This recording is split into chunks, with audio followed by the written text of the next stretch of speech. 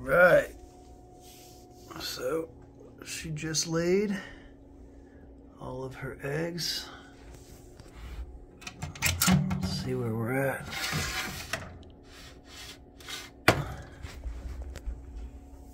Nice and easy.